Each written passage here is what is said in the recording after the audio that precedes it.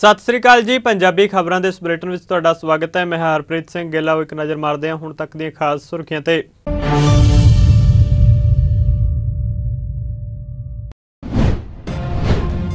ਪ੍ਰਧਾਨ ਮੰਤਰੀ ਨਰਿੰਦਰ ਮੋਦੀ ਦੀ ਕੇਰਲ ਯਾਤਰਾ ਤੋਂ ਪਹਿਲਾਂ ਮਿਲੀ ਧਮਕੀ ਭਰੀ ਚਿੱਠੀ, ਪੁਲਿਸ ਨੇ ਚਿੱਠੀ ਭੇਜਣ ਵਾਲੇ ਸ਼ਖਸ ਦੀ ਕੀਤੀ ਸ਼ਨਾਖਤ ਮਾਮਲੇ ਦੀ ਤਫਤੀਸ਼ ਜਾਰੀ।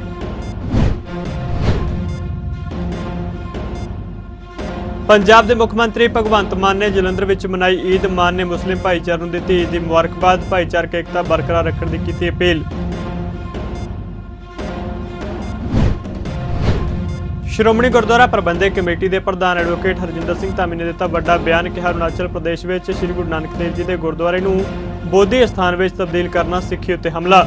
ਰਾਸ਼ਟਰਪਤੀ ਅਤੇ ਪ੍ਰਧਾਨ ਮੰਤਰੀ ਨੂੰ ਮਾਮਲੇ ਵਿੱਚ ਦਖਲ ਦੇਣ ਦੀ ਕੀਤੀ ਅਪੀਲ।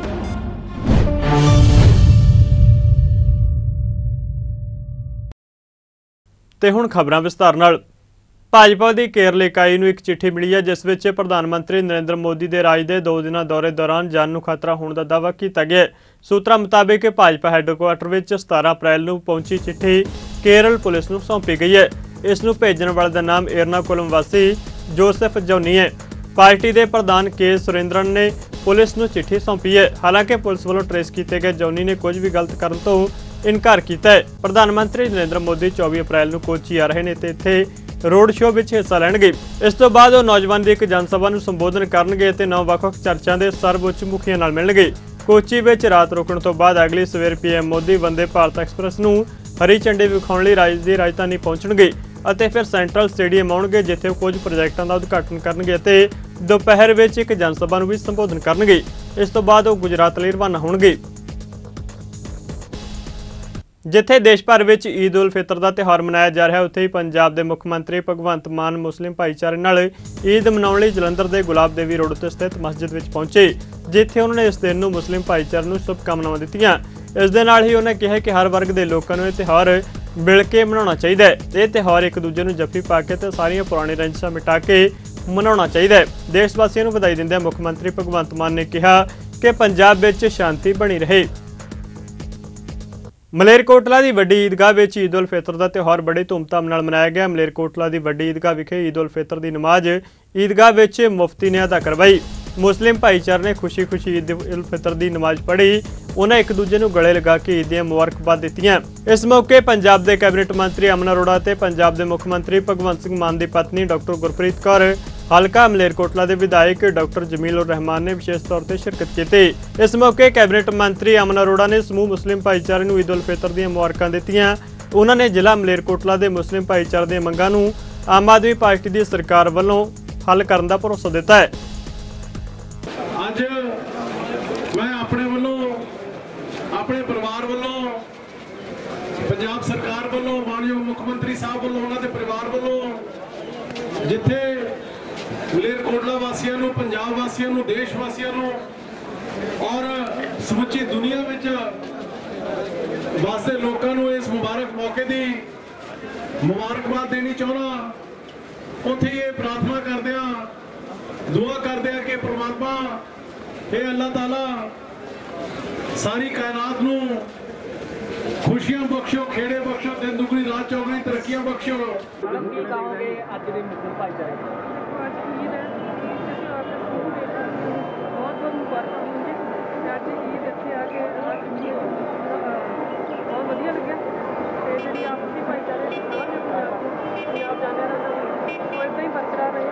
ਤੇ ਜਿਹੜੀ ਨਫ਼ਰਤ ਦੀ ਬੀਜ ਹੈ ਉਹ ਪੰਜਾਬ ਤੋਂ ਬਿਲਕੁਲ ਪਹਿਲੀ ਵਾਰ ਆਏ ਹੋ ਤੁਸੀਂ ਅੱਜ ਲਵੇ ਕੋਈ ਵਾਰ ਆਇਆ ਕਿਸ ਤਰ੍ਹਾਂ ਦਾ ਬਹੁਤ ਵਧੀਆ ਲੱਗਿਆ।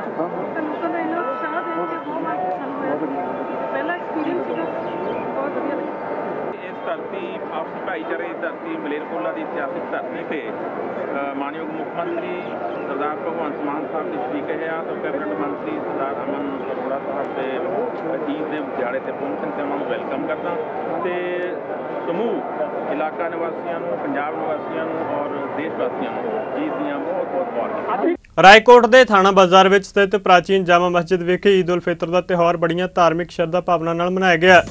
ਇਸ ਦੌਰਾਨ ਇਮਾਮ ਹਾਫਿਜ਼ ਮੁਹੰਮਦ ਮੁਰਸਲੀਨ ਨੇ ਈਦ ਦੀ ਨਮਾਜ਼ ਅਦਾ ਕਰਵਾਈ ਅਤੇ ਮੁਸਲਿਮ ਭਾਈਚਾਰੇ ਨੂੰ ਰਮਜ਼ਾਨ ਮਹੀਨੇ ਦਾ ਮਹੱਤਵ ਦੱਸਦਿਆਂ ਕਿਹਾ ਕਿ ਰਮਜ਼ਾਨ ਦੇ ਮਹੀਨੇ ਦੌਰਾਨ ਈਦ ਉਲ ਫਿਤਰ ਦੀ ਨਮਾਜ਼ ਸਮੇਂ ਅੱਲਾਹ ਤਾਲਾ ਆਪਣੇ ਬੰਦਿਆਂ ਨੂੰ ਬਖਸ਼ਿਸ਼ਾਂ ਦਿੰਦਾ ਹੈ ਅਤੇ ਰਮਜ਼ਾਨ ਦਾ ਮਹੀਨਾ ਸਵੈ ਸੰਜਮ, ਅਨੁਸ਼ਾਸਨ ਅਤੇ ਦਇਆ ਭਾਵਨਾ ਨੂੰ ਦਰਸਾਉਂਦਾ ਹੈ।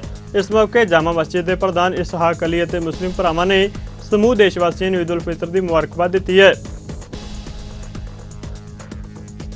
मैं हाफिज़ मोहम्मद मुरसलीन, इमाम जामा मस्जिद, नेड़े police station, Raikot.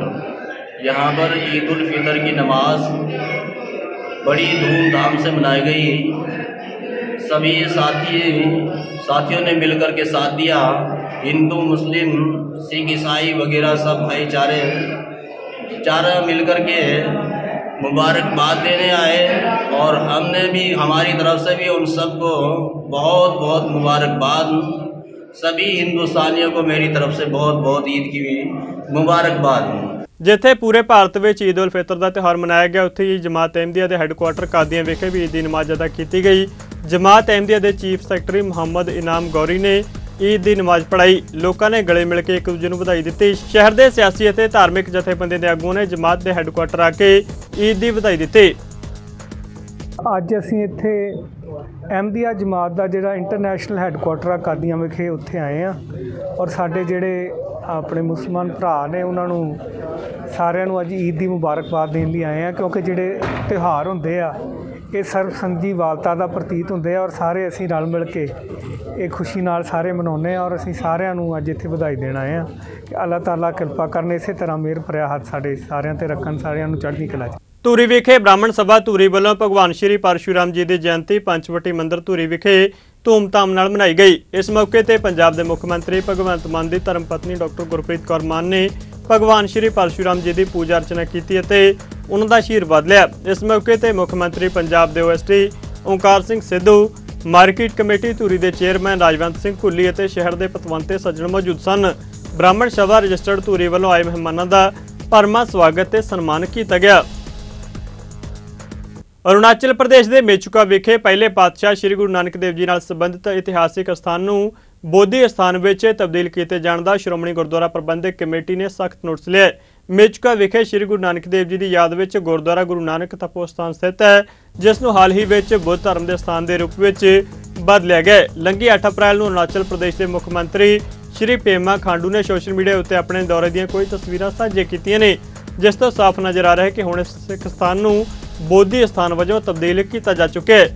Shiromani committee ਦੇ ਪ੍ਰਧਾਨ ਐਡਵੋਕੇਟ ਹਰਜਿੰਦਰ ਸਿੰਘ ਧਾਮੀ ਨੇ ਸਰਕਤ ਨੂੰ ਸਿੱਖਾਂ ਉੱਤੇ ਹਮਲਾ ਕਰਾਰ ਦਿੰਦਿਆਂ ਕਿਹਾ ਕਿ ਕਿਸੇ ਵੀ ਧਰਮ ਸਥਾਨ ਨੂੰ ਹੋਰ ਧਰਮ ਦੇ ਕੇਂਦਰ ਵਿੱਚ ਤਬਦੀਲ ਕਰ ਦੇਣਾ ਸੰਵਿਧਾਨ ਦੀ ਧਾਰਾ 25 ਦੀ ਸਿੱਧੀ ਉਲੰਘਣਾ ਹੈ। ਐਡਵੋਕੇਟ ਧਾਮੀ ਨੇ ਕਿਹਾ ਕਿ ਇਹ ਮਾਮਲਾ ਬੇहद ਸੰਜੀਦਾ ਹੈ, ਜਿਸ ਵਿੱਚ ਭਾਰਤ ਦੇ ਰਾਸ਼ਟਰਪਤੀ, ਪ੍ਰਧਾਨ ਮੰਤਰੀ, ਗ੍ਰਹਿ ਮੰਤਰੀ ਅਤੇ ਕੌਮੀ ਘੱਟ ਗਿਣਤੀ ਕਮਿਸ਼ਨ ਨੂੰ ਤੁਰੰਤ ਦਖਲ ਦੇਣਾ ਚਾਹੀਦਾ ਹੈ।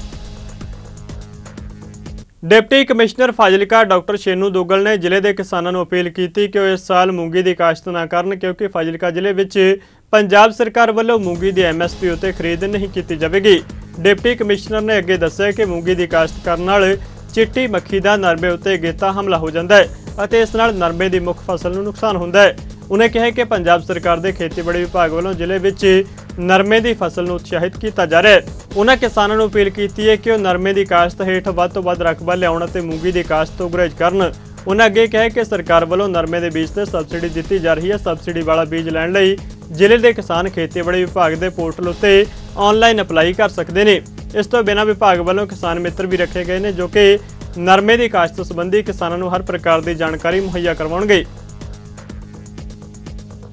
ਹਾੜੀ ਦੇ ਸੀਜ਼ਨ ਦੌਰਾਨ ਮੰਡੀਆਂ ਵਿੱਚੋਂ ਕਣਕ ਦੀ ਢੋਆ ਢੁਆਈ ਨੂੰ ਲੈ ਕੇ ਮਮਦੋਟ ਟਰੱਕ ਆਪਰੇਟਰਜ਼ ਆੜਤੀ ਅਤੇ ਟੈਂਡਰਕਾਰ ਵਿਚਾਲੇ ਪਿਛਲੇ ਇੱਕ ਹਫ਼ਤੇ ਤੋਂ ਚੱਲਿਆ ਰਿਹਾ ਰੇੜਕਾ ਆਖਰਕਾਰ ਅੱਜ ਖਤਮ ਹੋ ਗਿਆ। ਫਿਰੋਜ਼ਪੁਰ ਦੇ ਐਸਡੀਐਮ ਅਰਵਿੰਦ ਕੁਮਾਰ ਵਰਮਾ ਨੇ ਭਰੋਸਾ ਦਿੰਦੇ ਕਿਹਾ ਕਿ ਮੰਡੀਆਂ ਵਿੱਚੋਂ ਮਾਲ ਢੋਆ ਢੁਆਈ ਦੇ ਪਹਿਲੇ ਟੈਂਡਰ ਨੂੰ ਰੱਦ ਕੀਤਾ ਗਿਆ ਅਤੇ ਇਹ ਟੈਂਡਰਿੰਗ ਰਾਹੀਂ ਨਵਾਂ ਟੈਂਡਰ ਕੱਢਿਆ ਗਿਆ ਤੇ ਲਿਫਟਿੰਗ ਦਾ ਕੰਮ ਮੁੜ ਸ਼ੁਰੂ ਕੀਤਾ ਜਾ ਰਿਹਾ ਹੈ।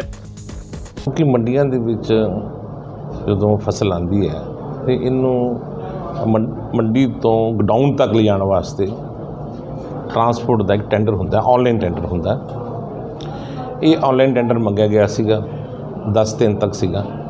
ਮਤਲਬ 10 ਦਿਨ ਦੇ ਵਿੱਚ ਵਿੱਚ ਕਿਸ ਕੋਈ ਬੰਦਾ ਟੈਂਡਰ ਆਨਲਾਈਨ ਭਰਦਾ। ਉਹ ਆਨਲਾਈਨ ਟੈਂਡਰ ਨਾਲ ਸੀਐਮ ਟ੍ਰੇਡਰਸ ਨੂੰ ਮਿਲ ਗਿਆ ਸੀ। ਲੇਕਿਨ ਉਹਨਾਂ ਦੀ ਕੁਝ ਪ੍ਰੋਬਲਮ ਸੀ।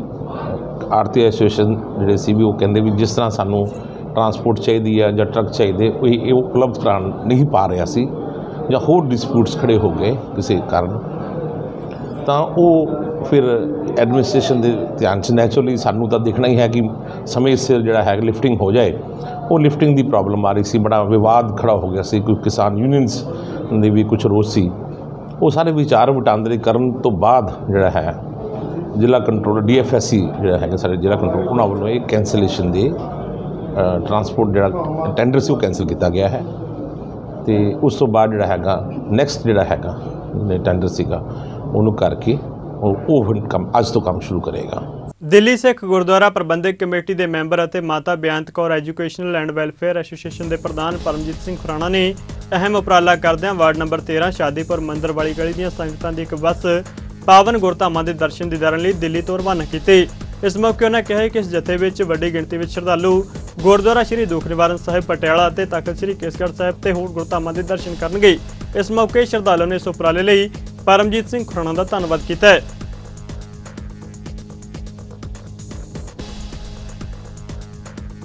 ਕੋਟਾਨਕੋਟ ਧੰਨਵਾਦ ਹੈ ਸੱਚੇ ਪਾਤਸ਼ਾਹ ਦਾ, ਜਿਨ੍ਹਾਂ ਨੇ ਅਪਾਰ ਬਖਸ਼ਿਸ਼ ਰਹਿਮਤ ਕੀਤੀ ਹੈ ਦਾਸ ਉਤੇ।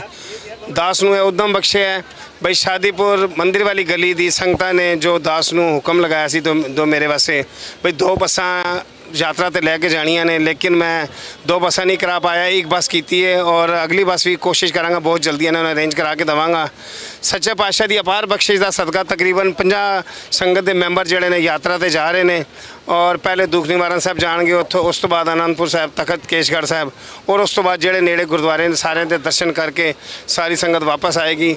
ਮੈਂ ਜਿੱਥੇ ਕੋਟਾਨਕੋਟ ਧੰਨਵਾਦ ਕਰਦਾ, ਸੱਚੇ ਪਾਤਸ਼ਾਹ ਦਾ, ਉੱਥੇ ਸਾਰੀ ਪਿਆਰ ਵਾਲੀ ਸੰਗਤ ਜੋ ਦਾਸ ਨੂੰ ਬਹੁਤ ਹੀ ਪਿਆਰ ਕਰਦੇ ਨੇ, ਹਮੇਸ਼ਾ ਦਾਸ ਦੇ ਸਿਰ ਤੇ ਆਪਣਾ ਹੱਥ ਰੱਖਦੇ ਨੇ, ਉਹਨਾਂ ਦਾ ਵੀ ਬਹੁਤ ਧੰਨਵਾਦ ਕਰਾਂਗਾ। ਉੱਥੇ ਨਾਲ ਨਾਲ ਮੈਂ ਆਪਣੇ ਸਤਿਕਾਰਯੋਗ ਵੀਰ ਸਰਦਾਰ ਜਗਜੀਤ ਸਿੰਘ ਦਰਦੀ ਸਾਹਿਬ ਦਾ ਚੜ੍ਹਦੀ ਕਲਾ ਟਾਈਮ ਟੀਵੀ ਵਾਲਾ ਦਾ ਵੀ ਧੰਨਵਾਦ ਕਰਾਂਗਾ।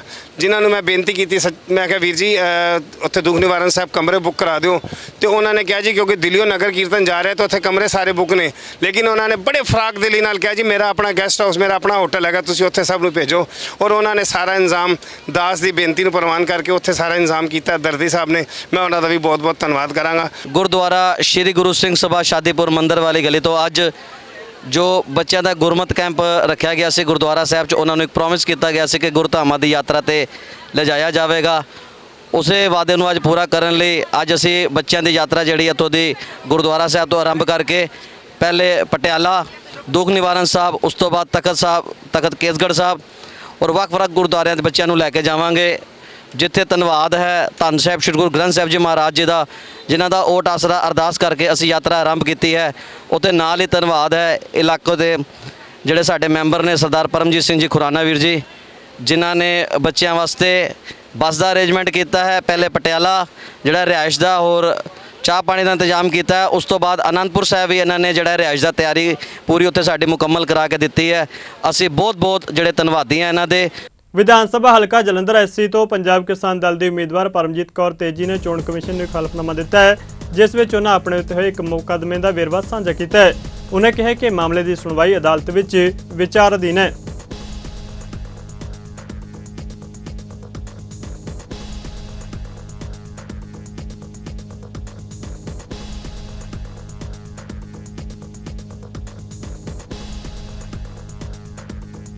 ਪੰਜਾਬੀ ਖਬਰਾਂ ਦੇ ਇਸ ਬੁਲੇਟਿਨ 'ਚ ਫਿਲਹਾਲ ਨਹੀਂ ਜਾਂਦੇ ਜਾਂਦੇ ਨਜ਼ਰ ਮਾਰਦੇ ਆ ਮੌਸਮ ਦੇ ਹਾਲ ਤੇ। ਤੁਸੀਂ ਬਣੇ ਰਹੋ ਚੜ੍ਹਦੀ ਕਲਾ ਟਾਈਮ ਟੀਵੀ ਦੇ ਨਾਲ। ਧੰਨਵਾਦ।